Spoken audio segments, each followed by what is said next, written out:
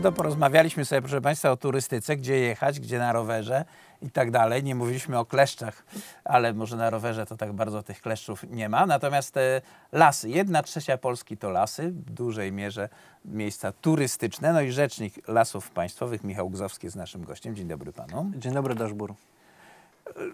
No to y, mamy rozmawiać o tym, czego w lesie nie należy robić.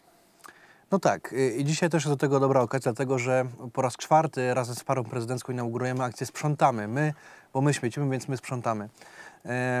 Para prezydencka dzisiaj w Nadleśnictwie Ostrołęka pod Warszawą będzie sprzątała śmieci razem z młodzieżą, y, harcerzami, dziećmi szkolnymi, y, lokalną społecznością, po to, aby pokazać i edukować społeczeństwo, że warto dbać o ten przyrodniczy depozyt, o ochronę środowiska i o nasze polskie lasy, które należą do nas wszystkich. Te śmieci do lasów to są wywożone od kilkudziesięciu lat. Y, Czy to się jakoś zmienia? Bo to są śmieci, które wywożą, nie wiem, okoliczni mieszkańcy, bo taniej. Jak to wygląda? Jest tak, że dzisiaj dzięki doskonałej prewencji, dzięki temu, że używamy fotopułapek, kamer termowizyjnych, dronów i mamy liczne patrole Straży Leśnej, tych śmieci jest coraz mniej. Tak? Ludzie zaczęli myśleć, że może nie warto wywozić tego worka śmieci do lasu, bo ta perspektywa wstydu po tym, jak taki filmik z fotopułapki pokaże się w internecie, no jest, yy, no jest taka upokarzająca i powoduje yy, do, skłania do refleksji. Statystyka jest taka, że w latach ubiegłych mieliśmy prawie 100 tysięcy metrów sześciennych odpadów każdego roku. Rok ubiegły był pod tym względem bardzo dobry, bo to było raptem niespełna 80 tysięcy metrów. Tak? No Niestety koszta rosną tych, y, utylizacji tych odpadów, dlatego że coraz częściej są to odpady niebezpieczne. Odpady budowlane, czy nawet y, zdarzają się, y, zdarzają się takie rzeczy jak zderzaki, jak taka y, elementy samochodów, tak? y, po, po, po, powypadkowych chociażby. Ale są też oczywiście odpady komunalne, gdzie często znajdujemy rachunki za gaz, za prąd, gdzie Wiadomo, mamy nazwiska, wiadomo czy ale też sytuacja była taka, może, może śmieszna, ale też kuriozalna, że wywieziono lodówkę, na której była kartka, pocztówka, gdzie był adres nadawcy i odbiorcy. Więc właśnie w, takich, w takich sytuacjach łatwo jest zidentyfikować y, no, właściciela tych odpadów i no, ukarać go za to, co, co zrobił. No tak, ym, ale liczba tych y, odpadów, jak mówiliśmy przed programem, się zmniejsza. Zmniejsza się, bo działa prewencja, czyli nasze, y, nasze działania w postaci tych właśnie są nowych działania? No przede wszystkim nowe technologie, tak? czyli te wszystkie kamery, które, urządzenia, które nas nagrywają, które wysyłają sygnał do, do strażników leśnych i mm, powodują to, że natychmiast jest tam y, dokonywana interwencja. To, że y, mamy coraz więcej patroli Straży Leśnej, to, że ludzie także y, poprzez tą edukację leśną którą realizujemy, uświadamiają sobie, że być może nie warto tego wywozić do lasu, a wystarczy jechać na przok czy do własnego śmietnika po prostu wyrzucić te odpady. Zdarzają się oczywiście przypadki, gdzie całe busy e, styropianu czy chemii budowlanej, czy nawet kilkadziesiąt beczek e, z znaną substancją chemiczną, tak, która potencjalnie jest groźna dla, dla przyrody, e, w lesie się znajdują, ale są to na razie przypadki odosobnione, chociaż A zdarza się przypadki importu, nie wiem, że z Niemiec przyjeżdżają. tego na razie nie odnotowaliśmy, Mhm. ale rzeczywiście są czasami takie odpady, które no, są wyjątkowo dziwne, jak na przykład paleta zgniłych jajek, jak paleta e, wygarbowanych z nadgniłych skór bydlęcych. Więc no, są, są różne dziwne przypadki, które napotykamy, ale staramy się bezwzględnie e, weryfikować i doszukiwać się, kto jest sprawcą takiego wykroczenia, czy też przestępstwa, w zależności od, oczywiście od skali e, Tak samo z zanieczyszczenia. żywnością, prawda? Nie daj Boże, Oczywiście. jakieś zwierzę, to trzeba pamiętać, że chodzą To jest duże zwierzęta niebezpieczeństwo, i... tak. Mhm. Turyści, którzy w lesie się znajdą na spacer, na rower, na coś też muszą brać to pod uwagę, żeby nie śmiecić. No jasne, to jest oczywiście taka podstawa kultury osobistej, to jest taki Mhm. nasz leśny savoir-vivre, czyli nie śmiecimy, nie palimy y, w lesie i nie wjeżdżamy tam samochodem i to jest jakby takie trzy podstawowe zasady, których przestrzegamy bezwzględnie. No, Ale oczywiście no, nadal, nadal są przypadki, gdzie ktoś idzie i po prostu rzuca bezmyślnie y, y, puszki, butelki, a przecież to często takie odpady, y, szklana butelka 500 lat się rozkłada, tak? Choinka sztuczna po świętach się nigdy nie rozłoży. Y, Więc y, y, a takie rzeczy się zna- znajdują w lesie, tak jakby często i gęsto, więc y, zwracamy uwagę na to, żeby właśnie pilnować siebie, ale też y, swoich bliskich sąsiadów, żeby do takich sytuacji po prostu nie dochodziło. Mhm, jakieś, no właśnie, bo to jest zaszkodzenie, bo mówimy tak o przyrodę, tak, ale zaskoczyć tym zwierzętom, żeby się pokaleczyły, jakąś puszkę będą, nie wiem, jakiś y, słoik, wsadzi tam ryjek do tego słoika i potem będzie z tym biegać. Rok temu widziałem no, y, y, potworny filmik, tak, na którym szedł jeleń y, z wielkim porożem, piękny, dostojny, miał oponę na szyi, tak, i trzeba było czekać, aż zrzuci poroże, y, po to, aby tą oponę można było mu zdjąć. E, A nie można było złapać i przeciąć po prostu? E, No, no ciężko było go namierzyć rzeczywiście. On sam sobie z tym nie mógł poradzić, bo miał duże poroże. E, No i takie właśnie, takie obrazki są założył. przed nami, to jest właśnie Czy on to musiał działalność, działalność założyć, człowieka. na, na, kiedy jeszcze tego poroża nie miał? Dokładnie tak, dokładnie tak. A kiedy on kiedy zaczął, zaczął rosnąć, no to wiadomo, że było coraz trudniej zrzucić taką oponę. Jest to działalność człowieka, no niestety to my śmiecimy w lesie, y, więc my sami się musimy pilnować, żeby nie niszczyć polskiej przyrody. Kwestia oczywiście balansu zwierząt, odstrzału i tak dalej, to jest inna historia.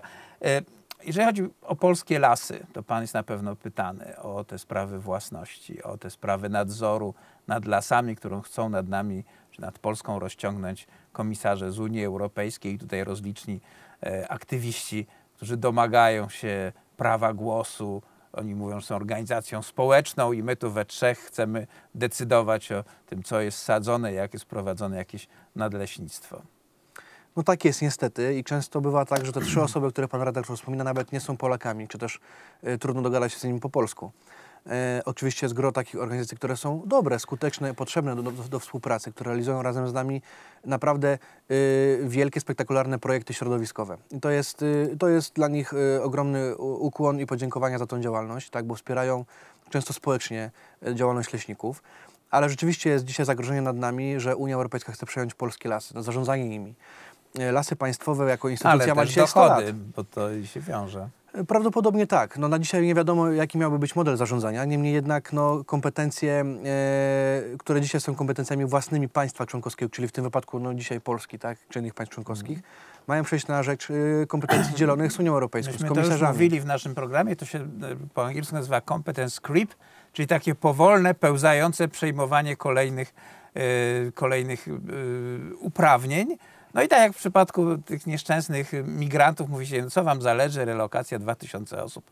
Co za problem? Jakby osoby, które to mówią, nie widzą, że otwierają furtkę dla nie wiadomo ilu osób, bo będzie o tym decydować Komisja Europejska i nie wiadomo jacy komisarze będą jakie decyzje podejmować. Czyli sami siebie pozbywamy władzy nad krajem demokratycznej, którą de facto mamy jako Polacy. No tak, a polskie lasy tutaj w tym wypadku to też jest, y, trzeba mieć świadomość tego, że to jest 30% powierzchni kraju. Mówimy to nie tylko o tym, co widzimy, czyli o drzewach, o, o kompleksach leśnych, o przyrodzie jako takiej, ale mówimy o terytorium naszego państwa. Mówimy także o tym, co jest pod ziemią, czyli te ogromne złoże, o których zawsze mówi świętej pamięci e, pan profesor Jan Szyszko, e, że Polska jest bardzo bogatym krajem.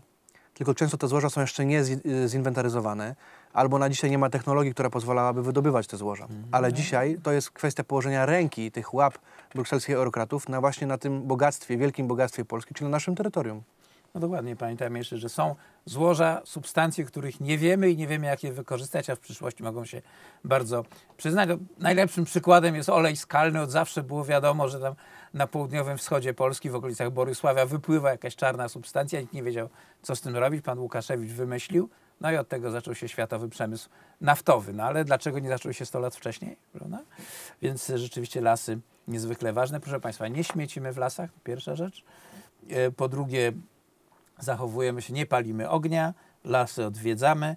Jeszcze Państwo jesteście mm, oskarżani mm, o wycinkę lasów i wysyłanie do Chin. Słyszę od polityków opozycji, że lasy państwowe sprzedają drewno Chińczykom. No to jest wierutne kłamstwo, bzdura, e, absurdalny fake news. Za każdym razem e, mówimy, że wcale tak nie jest, że lasy państwowe w ogóle nie eksportują drewna. E, na, w bazie kilkunastu tysięcy klientów mamy za, zaledwie kilkanaście firm z Niemiec, które dzisiaj kupują nas drewno. Jest to promil naszej całej oferty, którą sprzedajemy drzewnej, tak? Zatem nie eksportujemy drewna do Chin. Nie mamy w tym żadnego interesu. Premiujemy polskich przedsiębiorców, którzy w ramach e, e, swojej działalności w Polsce... krzesło i szafę do tych Chin niż Oczywiście, drewno. oczywiście, a to też jakby pokazuje, pokazują statystyki, tak, że dzisiaj polscy przedsiębiorcy meblują Europę. Jesteśmy pierwszym eksporterem mebli na świecie, w, w Europie, drugim na świecie. Tak samo w przypadku drewna budowlanego jest, jest podobnie. E, W związku z tym, gdyby tego drewna nie było, byłoby całe drewno byłoby w Chinach, to e, z jakiego drewna e, te firmy mogłyby tak dobrze prosperować. Jeszcze szybko pana zapytam, bo do ubiegłego piątku był taki lament w mediach, że susza grozi nie tylko rolnikom, ale lasom, że w ogóle dramat, nie ma deszczu. No, Potem te deszcze przyszły. W piątek i widzę z tego tutaj na prognozie, że raczej będą jeszcze przez najbliższe dwa tygodnie. Jak wygląda kwestia bezpieczeństwa pożarowego w tej chwili? Deszcz zawsze jest potrzebny. To jest tak, że w, w Polsce mamy zagrożenie pożarowe w lasach od kwietnia do końca września w zasadzie, do końca jesieni. E, I e, każdy brak deszczu powoduje, że ściółka leśna jest bardzo sucha. A kiedy jest sucha i ma poniżej 10%, czyli mniej niż kartka papieru, którą używamy do drukowania chociażby, e, no, mamy możliwość tego, że jedna drobna iskra spowoduje ogromny pożar. A Tak? jak to Często w Państwo wielkich stratach. y, oceniacie? Czy, czy jest tak, że jak spadł deszcz wczoraj, to dzisiaj już widać poprawę? Są jakieś elektroniczne urządzenia, które wysyłają Wam informacje? Y, Oczywiście delikatnie tak, niemniej jednak to nie są deszcze, które są ulewne, nawalne, tylko to jest takie raczej spłukanie po powierzchni y, ściółki. Y, Ten deszcz, woda spływa do jakichś zapadlisk, rozlewisk. Brakuje takiego porządnego deszczu, a wiemy też, że przecież jest susza hydrologiczna w Polsce, wody gruntowe są bardzo, bardzo nisko. Dlatego też właśnie zmieniamy drzewostany po to, aby było ono bardziej odporne na brak wody, na zmiany klimatyczne. O, to jest ciekawy temat kolejnej rozmowy. Bardzo pięknie dziękujemy. Michał Gzowski, Rzecznik Lasów Państwowych, był naszym gościem. Kłaniamy się. Dziękuję, Deszbur. Państwu życzymy miłego dnia. Zostańcie z Telewizją Republika, bo dzisiaj oczywiście wiele ciekawych informacji na naszej antenie.